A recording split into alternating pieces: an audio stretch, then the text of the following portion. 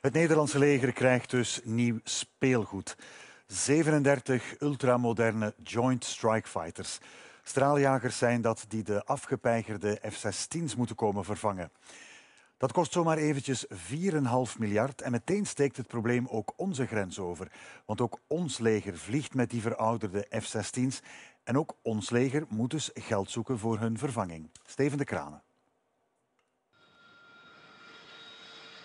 De F-35, beter bekend als de Joint Strike Fighter. Een dure vogel, want de prijs per toestel komt neer op minstens 62 miljoen euro. De F-35 zou straks dan ook het meest veelzijdige en modernste gevechtsvliegtuig ter wereld zijn.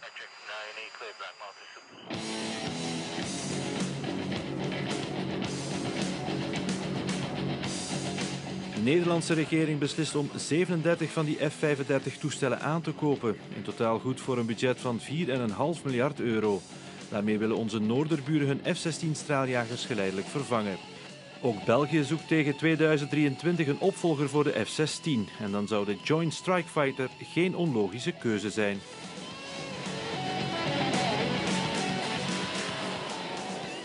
Wel, het zou vreemd zijn in de zin dat België gedurende de voorbije decennia samen heeft gewerkt met Denemarken, met Noorwegen en Nederland om dus hun uh, F-16-vloot gezamenlijk te onderhouden, met bijvoorbeeld motoronderhoud, gecentraliseerd hier in Herstal in, uh, in België. Um, en die, die schaalvoordelen zouden inderdaad kunnen verdwijnen als we een andere optie zouden kiezen. De uiteindelijke aankoopbeslissing komt er pas ten vroegste in 2014, na de volgende verkiezingen. Toch laat defensieminister Pieter de Krem de generale staf nu al een voorbereidend dossier opmaken met de verschillende opties. De F-35 ligt in de bovenste schuif, iets wat huidig coalitiepartner SPA betreurt. 2014 zijn er verkiezingen, komt er een nieuwe regering. Die nieuwe regering kan in, uh, zou ik zeggen, het regeerakkoord nieuwe afspraken maken, maar als SPA dan mee aan tafel zit, dan blijft het no way. Die uh, Joint Strike Fighters is veel te hoog gegrepen, veel te duur voor het Belgische budget. We design it. We build it. We test it. De Amerikaanse producent Lockheed Martin kende tijdens de ontwikkelingsfase van de F-35 heel wat problemen, waardoor de kostprijs van het project opliep tot bijna 300 miljard euro. En F-35 kreeg niet alleen vanwege de kostprijs veel kritiek. You can see how fat the fuselage is. It's kind of an ugly airplane. Most, most great airplanes, not all of them, are quite beautiful, quite sleek. And for good reason, because you're trying to reduce drag.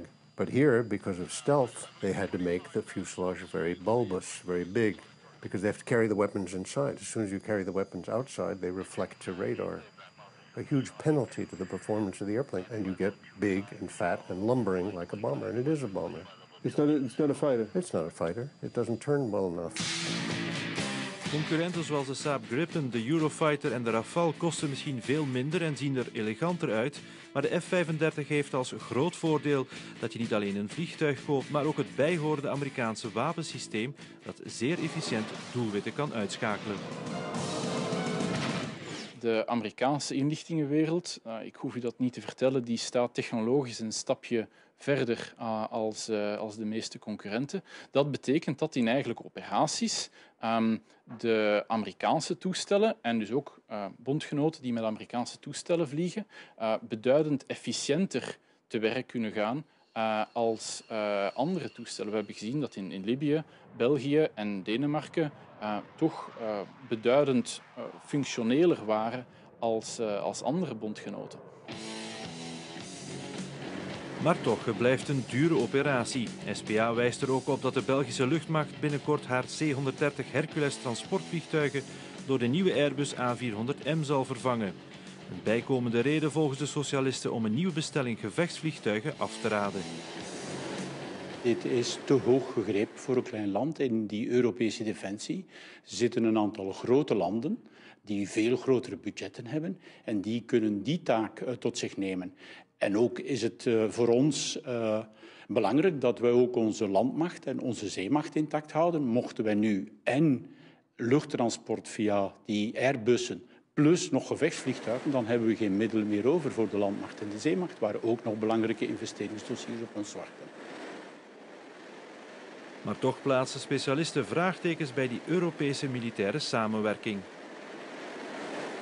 als het gaat over Europese samenwerking, komen, komen dingen ter sprake zoals taakspecialisatie en rolverdeling. Maar dan leggen alle partners daarbij ook uh, hun vereisten op tafel dat iedereen zijn duit in het zakje doet. En dat uh, betekent dat een land zich niet kan veroorloven om louter te specialiseren in de goedkoopste of de minst politiek gevoelige uh, domeinen, want anders wordt dat land niet als een geloofwaardige partner beschouwd.